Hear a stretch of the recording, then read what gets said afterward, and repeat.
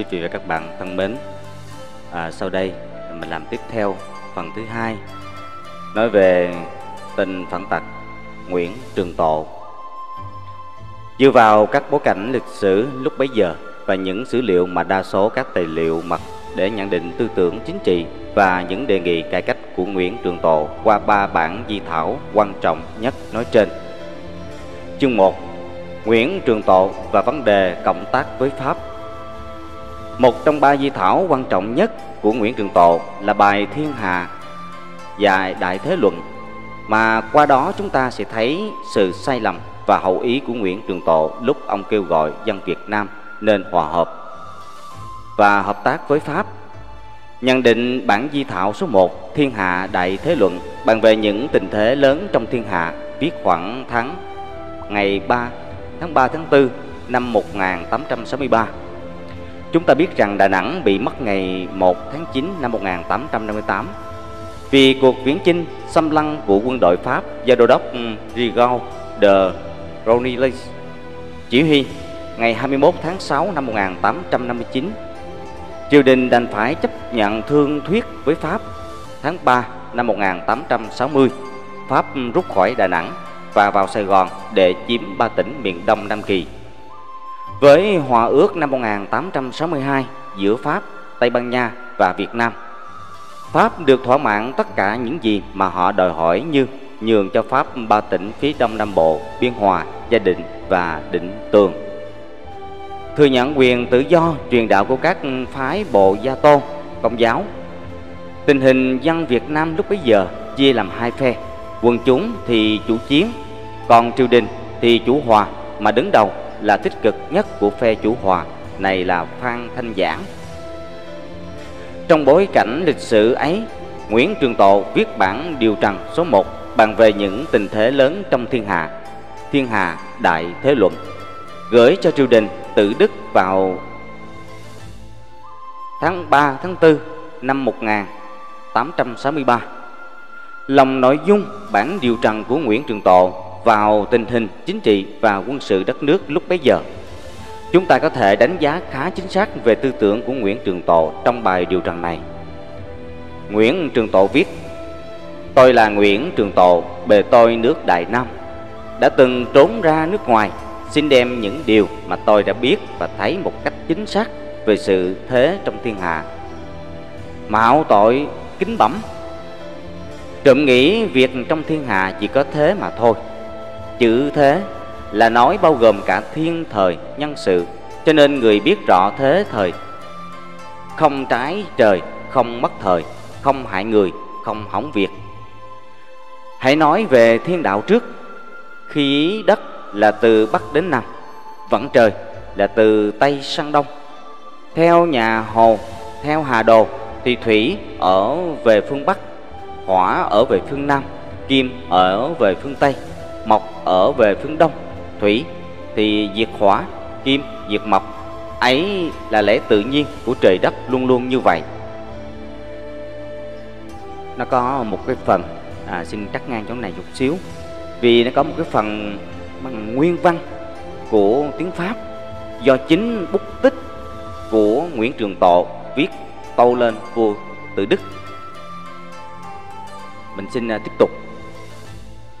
Ngày nay, các nước phương Tây đã bao chiếm suốt từ Tây Nam cho đến Đông Bắc toàn lãnh thổ châu Phi cho tới Thiên Phương, Thiên Trúc, Miến Điện, Simla, Tô Môn Đáp Lạp Trảo Oa, Lữ Tống, Cao Ly, Nhật Bản, Trung Quốc và các đảo ở ngoài biển, kể cả Tây Châu.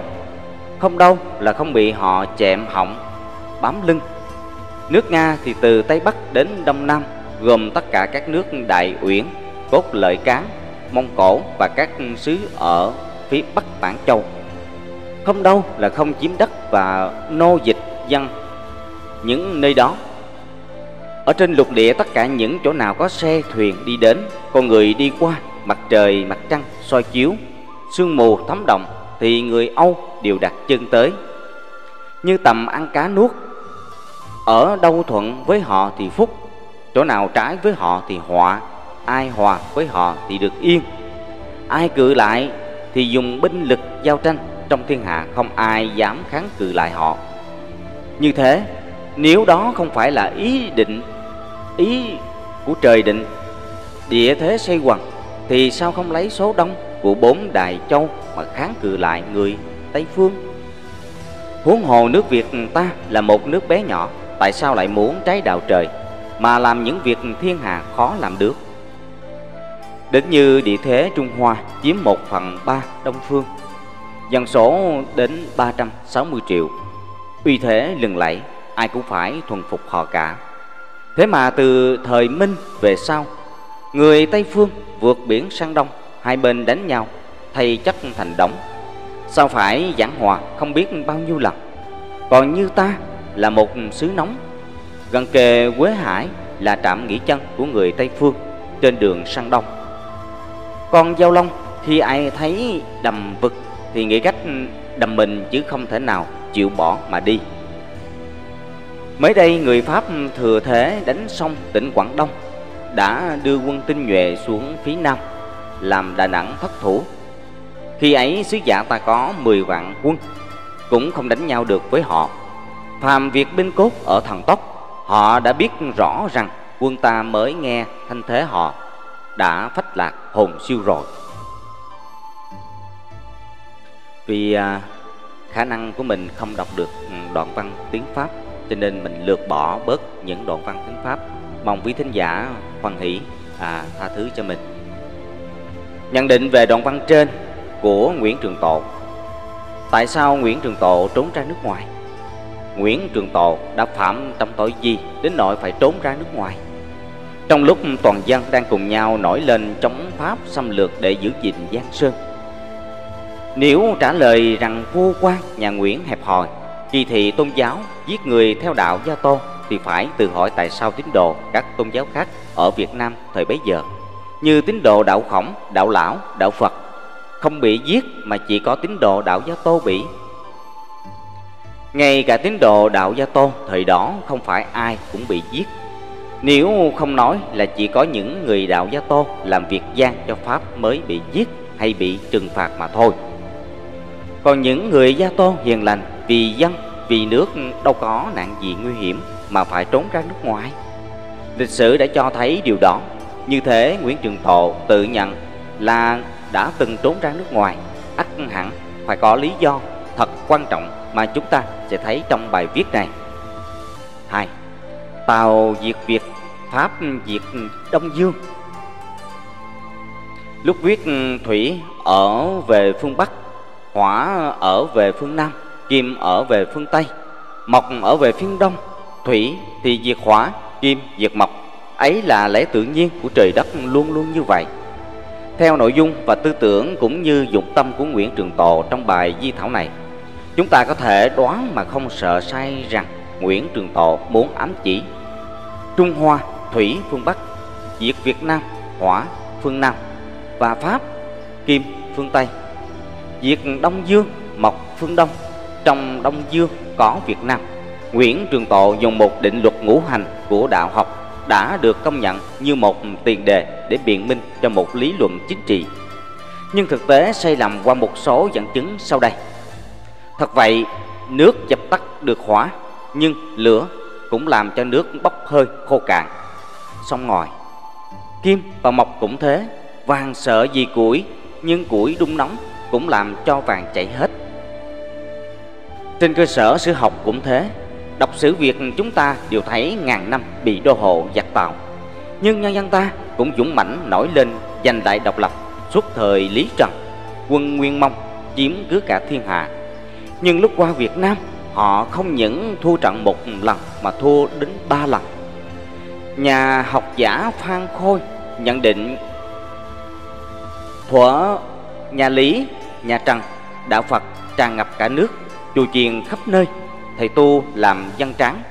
Nhưng nước nhà chưa hề có cái vẻ tích nhược như thời Lê Trung. Hay Nguyễn Thống Nhất là cái thời đại nho học thịnh hành. Trái lại nhà Lý, nhà Trần mạnh lắm, dân khí còn hăng lắm. Mấy phen giặc tàu sang chúng ta đuổi đi như đuổi vịt, dẫn theo Nguyễn Lan Việt Nam Phật giáo sử luận tập 3 Lá Bối xuất bản Paris năm 1985, trang 29. Một cuộc chiến thắng phương Bắc Trung Hoa Trước thời Nguyễn Trường Tộ là vua Quang Trung, Nguyễn Hệ đã đuổi 20 vạn quân thanh về Tàu vào năm 1789. Đó là bằng chứng trong vô số chứng cứ qua lịch sử cho thấy làm gì có chuyện Tàu diệt Việt, Thủy diệt Hóa như Nguyễn Trường Tộ khẳng định.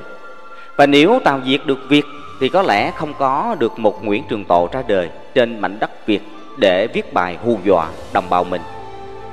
Còn Kim Diệt Mộc hay Pháp diệt Á Đông, trong đó có Việt Nam, là thêm một nhận xét khác thiếu cơ sở sử học của Nguyễn Trường Tộ.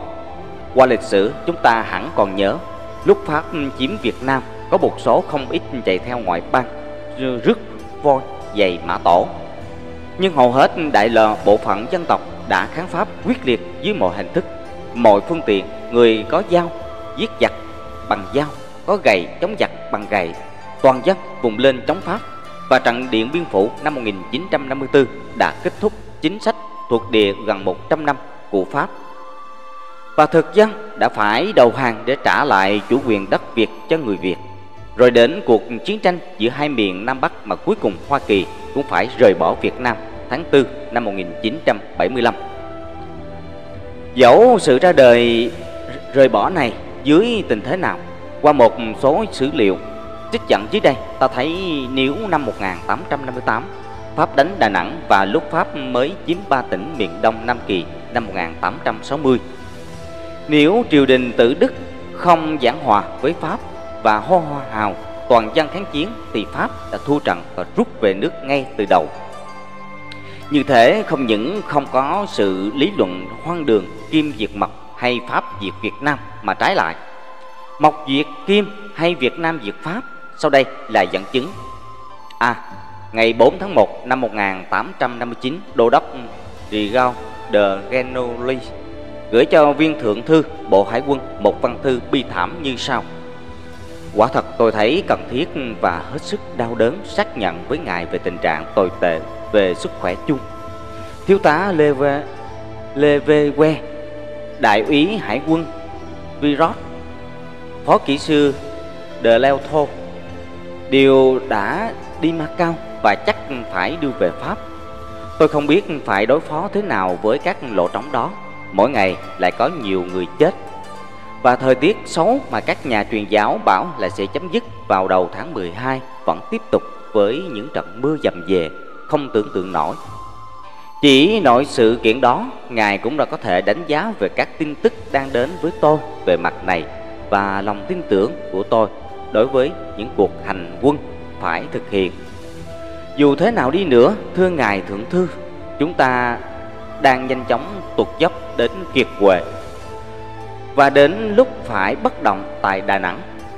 Mọi phương cách để cải thiện tình trạng quân sĩ đều đã được sử dụng hết và không kết quả. Các y sĩ trước tình trạng bệnh tật và kết luận là người Âu không nên làm việc gì trong khí hậu này. Nhưng làm sao được khi ở đây? Phải làm những việc cần thiết cho sự phòng vệ, xây các bệnh viện, liều trại, vân vân. Đó là một cái vòng lẫn quẩn khiến chúng ta phải điên đầu. Thư khố quốc gia, tài sản hải quân B 84769 dẫn theo luận án tiến sĩ của Cao Huy Thuần Chistenmi at Colony Việt Nam năm 1857 năm 1914 đạo Gia Tô và chủ nghĩa thực dân Pháp tại Việt Nam 1857 1914 Paris France năm 1968 bản Ronel trang 108 B. Trước tình hình nguy ngập như trên ngày 8 tháng 4 năm 1859 một chỉ thị khác của Bộ Hải quân và thuộc địa gửi cho Đô đốc. Như sau. Vì thế, Hoàng thượng tin cậy ở kinh nghiệm và sự sáng suốt của ông trong mọi quyết định với lực lượng dưới quyền ông điều khiển. Có tên có nên theo đuổi việc thiết lập nền bảo hộ trên vương quốc An Nam không? Hay chỉ nên cưỡng bức chính phủ họ? Nhờ vào việc chiếm đóng Đà Nẵng và nhiều cứ điểm khác mà ông đã chiếm hay sẽ chiếm được, cùng với việc phong tỏa một hay nhiều cảng ở Nam Kỳ để đi đến sự kết một hiệp ước trên nền tảng kế hoạch ngày 25 tháng 11 năm 1857 hay cuối cùng là chúng ta đành bỏ các vị trí mà chúng ta chiếm đóng và từ bỏ hẳn mọi mưu toan rõ ràng ngoài tầm các phương tiện, hoạt động mà ông có. Chỉ thị của Thượng thư Bộ Hải quân và thuộc địa tháng, mùng 8 tháng 4 năm 1859 Thư khố quốc gia tài sản hải quân BB41045. Cao Huy Thuần, Sách đã dẫn trang 118 và 119 C. Sau khi Thanh Phan Thanh Giảng và Lê Di Hiệp đại diện triều đình Huế ký hòa ước nhâm tuất năm 1862 với Pháp bị dân chúng lên án là hai kẻ phản quốc. Như thế triều đình Huế đã bỏ rơi phong trào kháng Pháp. Nhưng toàn dân Nam Kỳ đã kháng cự kịch liệt dưới sự điều khiển của Nguyễn Trượng, Nguyễn Trung Trực, Võ Duy Dương, Thủ Khô Hơn, Thủ Khoa Huân, vân vân và đã làm cho quân Pháp vô cùng khốn đốn. Sau đây là một đoạn trong bản báo cáo của Bonat đề ngày 18 tháng 12 năm 1862 như sau. Các tàu tôi hiện có trừ hai chiếc Hopin và Cotnau đều không thể ra khơi. Đoàn quân Nguyễn Chinh bị bệnh tật chết chóc, sự giảm quân làm cho yếu kém đang bị sử dụng quá sức Tôi hoàn toàn bị tê liệt về các phương tiện hành động, Tàu bè thì thiếu và bị hư. Tình trạng thảm hại nếu có không sửa chữa sẽ đưa thẳng chúng ta đến một tai họa không xa. Tôi thấy có bổn phận phải báo cho ngài biết. Thật là đau đớn và sau bao cố gắng quá sức con người mà tôi đã làm từ 15 tháng nay. Bây giờ thì mọi thứ đều phải xem xét lại. Do sự bỏ rơi, các vấn đề của Nam Kỳ các cuộc khởi nghĩa đồng loạt nổi lên khắp nơi. Tôi bị đẩy vào thế tự vệ. Không có phương tiện để lập một đoàn quân, chỉ 200 người. Tôi yêu cầu đô đốc ừ, Rauri gửi ngay cho một số viện quân. Nếu lực lượng tăng, viện đến ngay, Tôi có thể làm chủ được tình hình. Nếu không thì đành bất lực.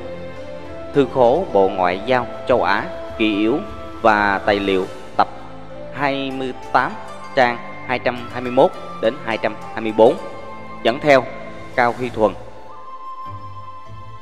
Trang 170 D. Ngày 27 tháng 1 năm 1863 Bonat cũng than thở. Lực lượng chúng ta giảm dần vì chết, vì bệnh, vì rút quân đang bị đuối sức từng ngày Rõ ràng không thể tiếp tục trong 6 tháng một chiến trận như thế này. Chúng ta thiếu bộ binh thiếu hải quân, thợ máy, phương tiện chuyên chở tất cả trang bị hải quân chúng ta hoàn toàn cũ mềm mà không có phương tiện sửa chữa. Sự vận tải trên đất cũng thành vô hiệu vì thiếu tài xế cho xe bộ binh, thiếu xe cứu thương, thiếu thực phẩm vân vân. Văn thư 27 tháng 1 năm 1863 trang 295 và 318. Qua bốn chứng liệu của các viên chức cao cấp trong Bộ Hải quân và thuộc địa chúng ta thấy rõ triều đình Huế đã không nắm vững tình hình của Pháp bằng không thì Pháp đã bị bại trận từ đầu.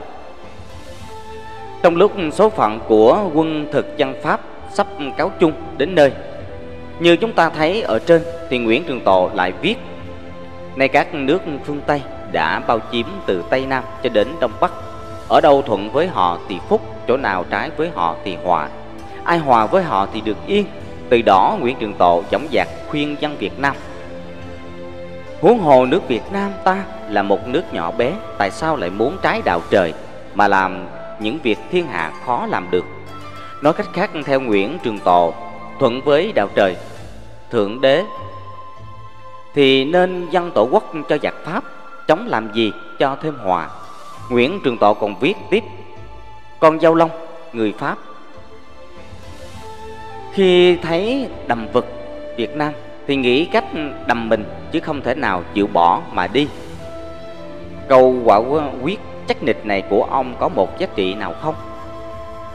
Qua vài dẫn chứng ở trên và sau này, Và qua trận điện Biên Phủ năm 1954 Chúng ta đã thấy được câu trả lời rồi 3. Lính Việt Nam hèn nhát, Chưa đánh đã chạy Nguyễn Trường Tộ đánh giá quân đội Việt Nam rất thấp lúc viết. Quân ta mới nghe thân thế họ đã phách lãng hồn siêu rồi. Nếu họ dùng súng trường từ xa bắn suốt tới, Thì quân ta chưa sắp trận mà gươm giáo đã tăng tành. Khi họ đến gần thì dùng lưỡi lê xung phong, Một người đương được cả trăm người, Xông lên như nước chảy xiết. Lúc ngừng lại thì như núi dựng. Xông vào chẳng qua cũng như chuồn chuồn bay cột đá mà thôi.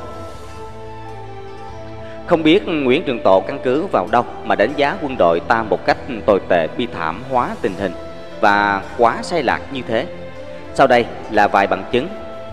Văn thư đề ngày 29 21 tháng 9 năm 1859 Đô đốc Rodley viết, Càng đi sâu vào tình hình vương quốc An Nam, Các bức màn càng ván lên, những lời khẳng định dối trá của các giáo sĩ. Càng tan biến, không thể, không thừa nhận rằng cuộc chiến tranh chống lại xứ này còn khó hơn cuộc chiến tranh chống lại thiên triều. Bồ Đát cũng lo âu, kêu cứu. Người An Nam đã tỏ ra dày dặn chiến đấu. Họ đã làm đảo lộn vai trò. Giờ đây, họ tấn công chúng ta, ngay những vị trí của chúng ta. Dẫn theo Thái Hồng, trong Nguyễn Trường Tộ với vấn đề canh tăng đất nước Sách đại dẫn trang 263 Hai dẫn chứng vừa nêu cho thấy sự đánh giá tệ mạc của Nguyễn Trường Tộ về tình hình chiến đấu của dân Việt Nam là hoàn toàn sai. Và hình như có mục đích nhằm cứu vãn tình thế nguy ngập của quân đội Pháp. 4. Giết giáo sĩ xin một miếng đất nếu thỏa mãn Pháp sẽ đi. Nguyễn Trường Tộ viết hơn nữa, người Pháp đến đây Một là hỏi ta vì sao giết hại giáo sĩ hay là hỏi vì sao không chịu giao thiệp? Ba là, xin ta cắt cho một vài chỗ để làm đường giao thương Như các nước thường làm. Lúc đầu họ không có ý đi cướp nước ngoài. Nếu những yêu sách của họ được thỏa mãn, Họ sẽ chấm dứt những hành động gây hấn Như đã ước định chứ đâu đến nỗi dây dưa lan rộng như thế. Cũng ví như nước lụt, Người hiểu biết thì thuận theo thế nước mà cho chạy xuôi. Để nước chảy về sông, về biển thì hết. Nếu ngăn động lại thì úng núi ngập gò. Tắt lại thì trôi nhà, trôi cửa. Cho nên người kéo khéo trị lục Thì việc làm hết sức đơn giản. Qua đoạn văn ấy chúng ta thấy Nguyễn Trường Tộ nêu ra mấy vấn đề. Vì sao giết giáo sĩ? Sao không chịu giao thiệp? Xin ta cắt cho một vài chỗ. Họ không có ý định đi cướp nước. Nếu yêu sách thỏa mãn được họ chấm dứt rồi Nguyễn Trường Tộ khuyên rằng Nay ta đã lỡ rồi Không nên cản ngăn cho sinh họa Nên buông vận mạng quốc gia cho Pháp Như nước chảy về sông, về biển thì hết Ngăn lại thì úng núi, ngập gò Trước lúc đưa ra những dự kiện để cho thấy cái sai lầm của Nguyễn Trường Tộ Tôi muốn dựa trên cái lý để nêu ra vài câu hỏi Tại sao giáo sĩ bị giết? Quốc gia Việt Nam có hay không? Quyền không giao thiệp, Quyền không cắt nhượng giang sơn Lòng các nhận định của Nguyễn Trường Tộ nêu trên vào khung cảnh nước nhà lúc bấy giờ. Và trước lúc Nguyễn Trường Tộ viết bản di thảo này vào giữa năm 1863 Các sử liệu sau đây cho thấy lý do tại sao giáo sĩ bị giết. 4.1 Giáo sĩ dòng tên Alexander Roth đắc lộ năm 1593 năm 1660 đã có chương trình dẫn thực chân Pháp vào đất nước ta. Trong cuốn Hành trình và truyền giáo, trang 263 và 264 phần Việt ngữ, Hồng Nhuệ Dịch, Ủy ban Đoàn kết Công giáo xuất bản, Thành phố Hồ Chí Minh, năm 1994 Nguyên văn chính Alexander Roth, chứ không ai khác đã viết như sau Tôi tưởng nước Pháp là nước đạo đức nhất thế giới Nước Pháp có thể cung cấp cho tôi nhiều chiến sĩ để chinh phục toàn cõi Đông Phương Đưa về quy phục Chúa Kitô. Và nhất là tôi sẽ tìm được các giám mục, cha chúng tôi và thầy chúng tôi trong các giáo đoàn.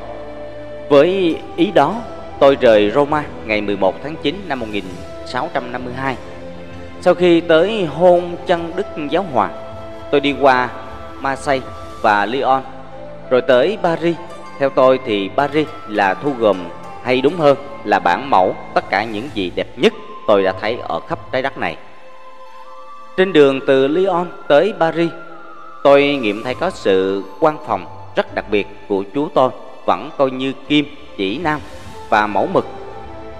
Để ra mắt ở Pháp tôi cần có thiên thần hộ vực để đưa tôi lọt vào triều đình vua cao cả nhất toàn cầu.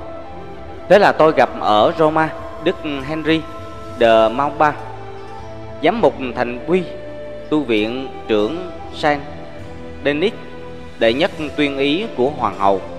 Ngài có nhã ý cùng đi với tôi trong cuộc hành trình nhỏ bé này. Trong 15 ngày, tôi thấy nơi Ngài rất nhiều nhân đức và thương yêu suốt đời tôi. Tôi quý mến công ơn và sẽ đề cao hội ngộ may mắn nhất trong suốt các cuộc hành trình của tôi.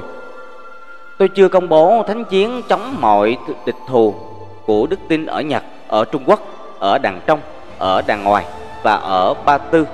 Thì lập tức đã có một số đông con cái thánh Inyasu đầy tinh thần đã đưa thánh Francisco Save tới 300 quốc gia. Các ngài đã bừng bừng ao ước và vác thánh giá thầy và đem đi cắm ở những nơi cùng kiệt cõi đất. Tôi nhận được vô vàng thư của các cha dòng. Chúng tôi tự nguyện xung phong trong đoàn binh vinh quang Tất cả năm tỉnh dòng ở Pháp đều có nhiều người quảng đại ghi tên. Các ngài viết thư về Roma Các ngài cầu nguyện, các ngài thỉnh cầu bề trên Và bề trên đã chọn 20 người để đi chảy trong các ít ngày sắp tới. Đó là một bằng chứng rõ ràng mà chính linh mục dòng tên Alexander Roth đã xác nhận chính ông ta đã vận động triều đình Pháp đánh chiếm Việt Nam. Chỉ với một thí dụ trên thôi, chúng ta thấy chính Đắc Lộ và ngay cả giáo hoàng La Mã, người mà Đắc Lộ hôn chân trước lúc đi Pháp đã âm mưu vận động chính phủ Pháp cúp nước. Chữ Nguyễn Trường Tộ dùng Việt Nam từ năm 1625, tức là hơn 200 năm trước lúc Nguyễn Trường Tộ ra đời. 4.2 lời phê bình của đô đốc Genolis để cho các vấn đề được vô tư hơn và để thấy ngay các hành động mà giáo sĩ đạo gia Tô La Mã đã tác hại cho đất nước Việt Nam xảy ra lúc mà Nguyễn Trường Tộ vào khoảng 30 tuổi.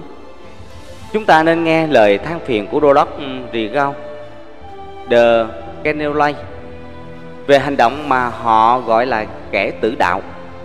Không một nền cái trị nào dù là phục vụ cho đạo Gia tôn lại có thể dung thứ cho sự xâm phạm thường xuyên và ngu xuẩn vào các vấn đề chính trị, dân sự và quân sự vốn không được ừ, và không phải thuộc quyền hạn của họ. Nếu cũng vì những yếu tố buộc tội đó mà giám mục ừ, Pellerin bị nhà cầm quyền An Nam trục xuất thì báo chí của người truyền đạo lại kêu la ôm sòm và họ bị bạo hành.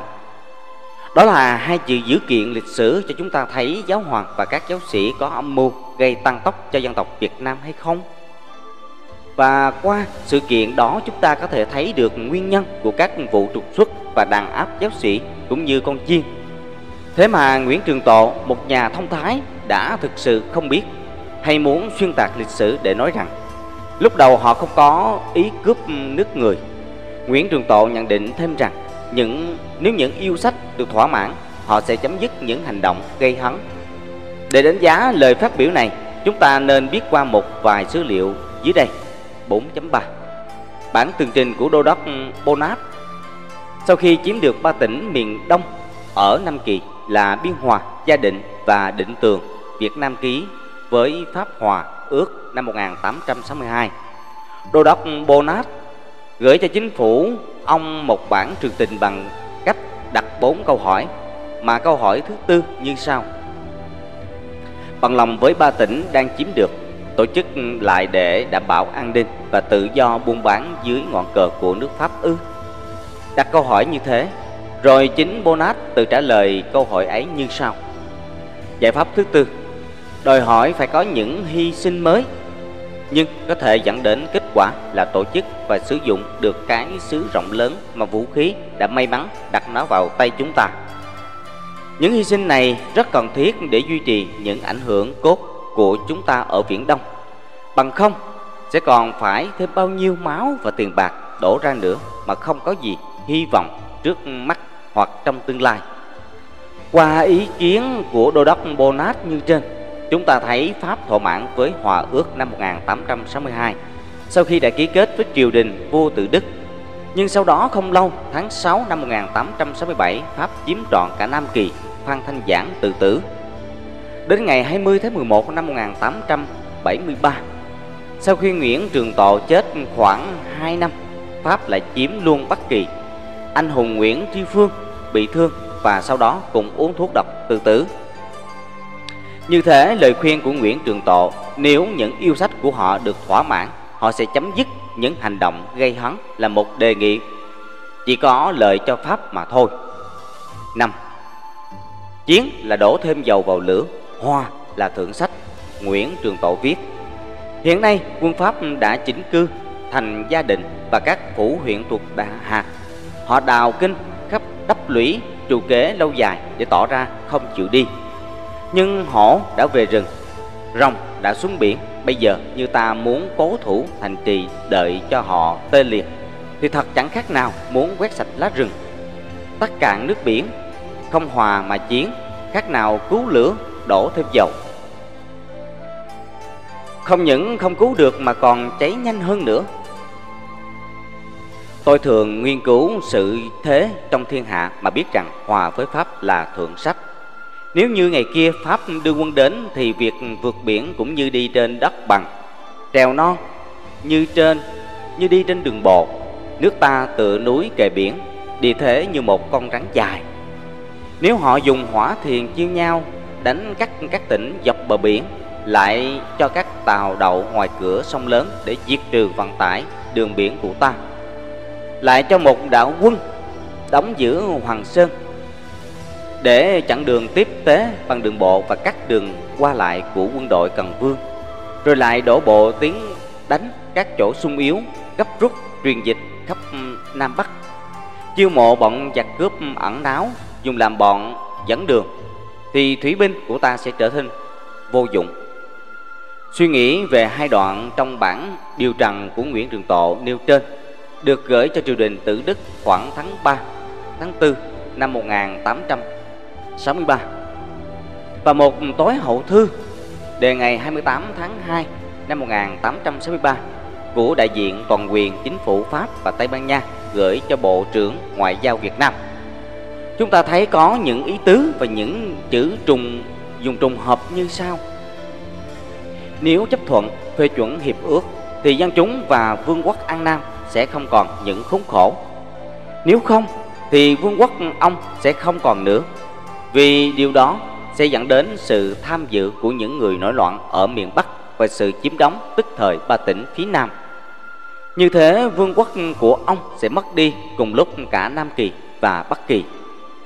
Sở dĩ có sự hăm dọa như trên Vì vua tự Đức một mặt kiếm cớ trì hoãn sự phê chuẩn hiệp ước, Mặt khác vận động thuộc chuột lại các tỉnh đã mất.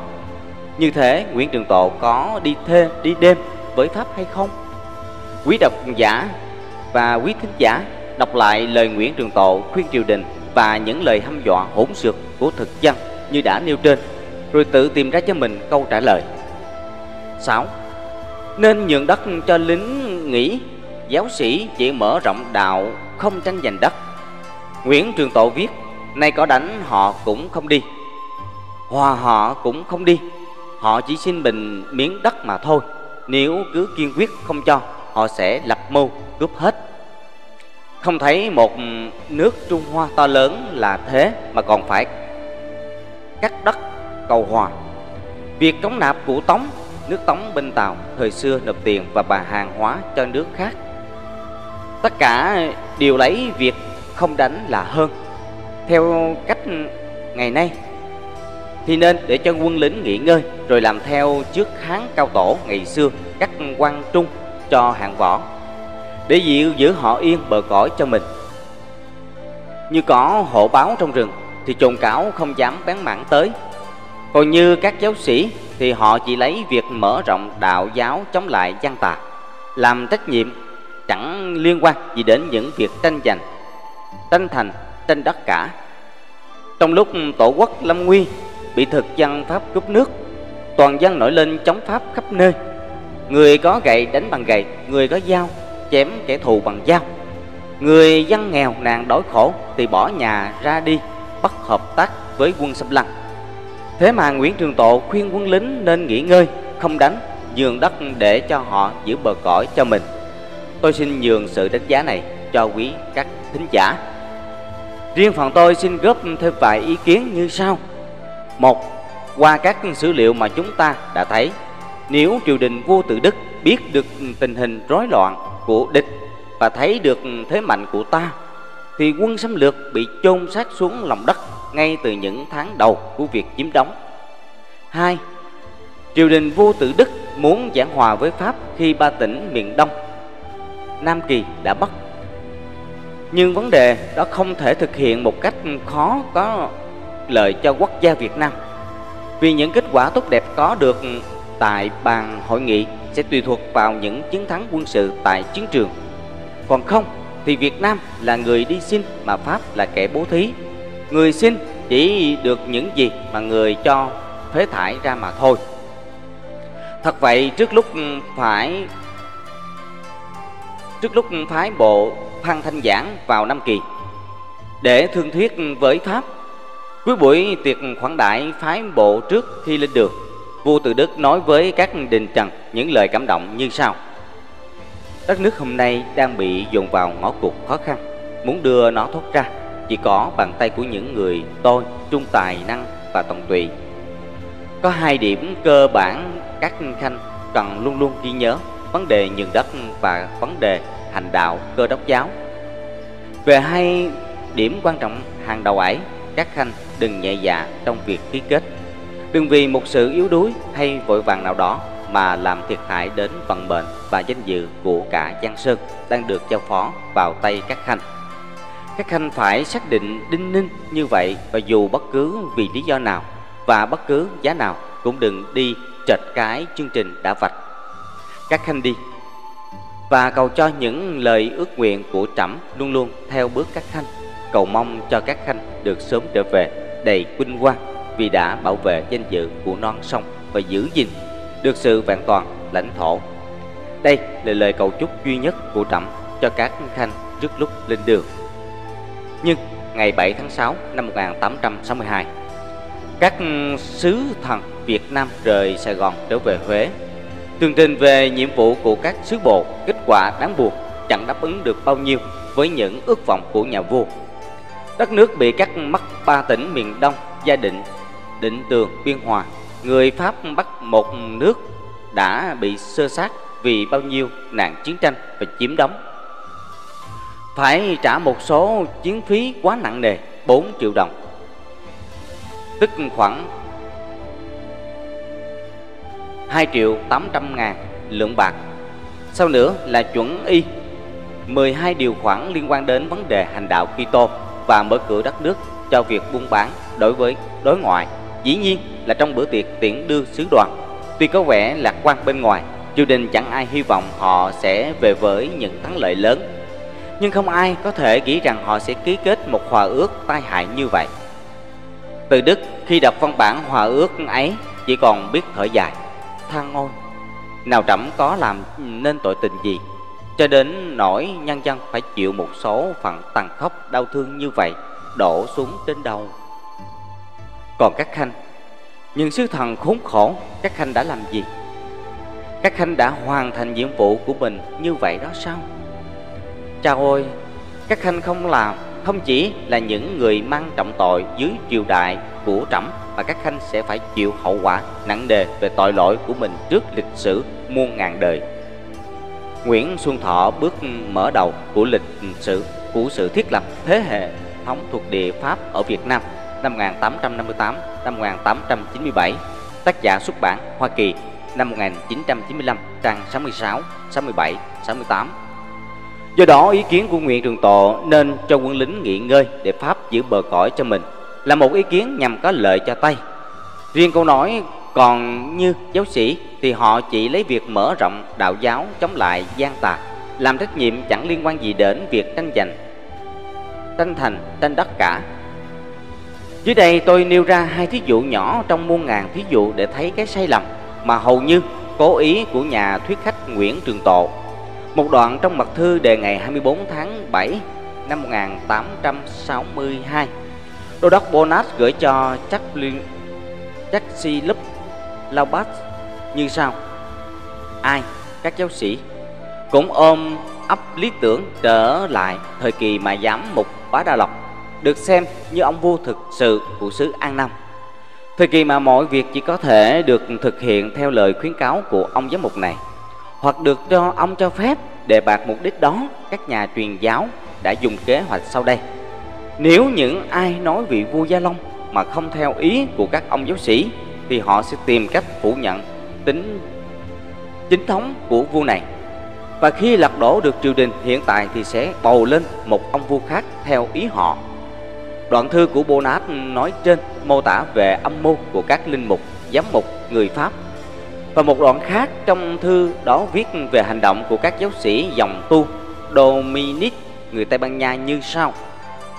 Còn tu sĩ dòng Dominic Tây Ban Nha thường chiếm cứ nhiều vùng miền thượng du Bắc Việt. Họ lại có bất trị hơn, hay lại họ lại còn bất trị hơn, hăng hái và quá cuồng tín đa số trong bọn này phát xuất từ các đoàn du kích và phe Calistic. Họ rời bỏ Tây Ban Nha và sẵn sàng mang gươm, súng và thánh giá chữ thập dốc toàn lực tham dự vào cuộc nổi loạn gây tai họa cho xứ Bắc Kỳ. Hai dẫn dụ nêu trên đã cho thấy Nguyễn Trường Tộ bên vực và đánh giá sai về vai trò của các giáo sĩ công giáo La Mã. Trên đây là vài nhận xét về thuộc lãnh vực chính trị của Nguyễn Trường Tộ đối chiếu với các sử liệu chính xác không thể chối cãi. Những sai lầm nghiêm trọng, những lời khuyên, cố vấn và nhận xét hoàn toàn sai lạc về tình thế, về lịch sử mà Nguyễn Trường Tộ viết trong bản Triều Điều Trần. Giả sử ông không có hậu ý giúp Pháp thì ông cũng nên được lịch sử phê phán cho đúng mức về đề nghị sai chỉ có lợi cho Pháp mà thôi. Sau đây là nhận xét về chương trình cải cách của Nguyễn Trường Tộ trong lĩnh vực có nhiều kinh tế qua một số bản điều rằng khác. Đi từ nhận định rằng vai trò của kinh tế trong việc làm cho dân giàu nước mạnh và rằng lúc quốc gia đã mạnh thì có thể giải quyết được mọi vấn đề. Và từ cơ sở Việt Nam là một nước nghèo nàn, bộ máy hành chính có thể hoạt động được chỉ nhờ vào các khoản thuế mà nhân dân đóng góp chứ không phải chứ không biết khai thác các nguồn lợi thiên nhiên như hầm mỏ, cây rừng, canh tác nông nghiệp và sử dụng máy móc để phát triển kinh tế. Từ đó Nguyễn Trường Tộ viết một số bản điều trần để đề nghị công cuộc cải cách kinh tế. Bản điều trần số 5 kế hoạch làm cho dân giàu nước mạnh. Vụ tài tế cấp ừ, bẩm từ và di thảo 27 tám việc cần làm cấp tế cấp bắt điều Xin cảm ơn quý vị và các bạn đã chú ý lắng nghe. Mời quý vị và các bạn nhớ đăng ký kênh và chia sẻ rộng rãi để cho mọi người cùng biết. Và xin mời quý vị và các bạn nhớ đón nghe chương thứ hai ở phần sau.